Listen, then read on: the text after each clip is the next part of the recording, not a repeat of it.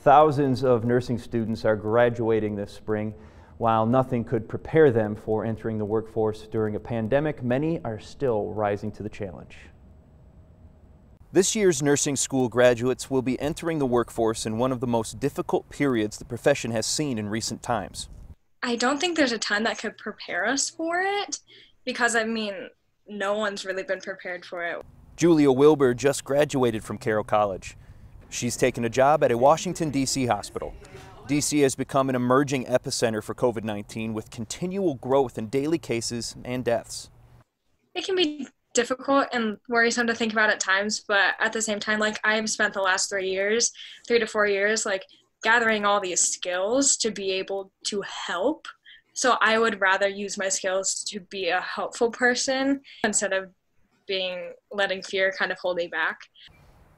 Patients and their families depend on nurses to be pillars of strength and guidance during difficult times.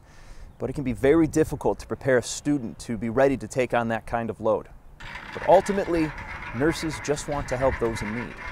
Nursing is more than just a job, it is a calling. Maria Bronson is an associate nursing professor at Carroll College. Educators work to give future nurses not just the knowledge needed to care and treat patients, but also to take care of themselves. I think it's a very stressful time.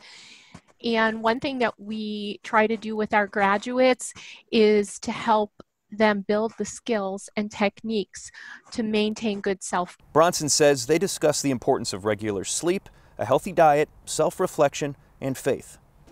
Skills that have become increasingly important with nurses and nursing students across all experience levels like Helena College junior Ashley Levine, who was working as a nursing assistant during the pandemic.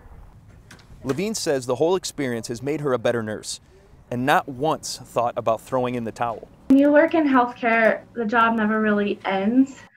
I don't have any, you know, underlining conditions that would stop me from working. So I was like, if they need the help, I'm I'm ready to help. Andy Curtis and John Riley for MTN.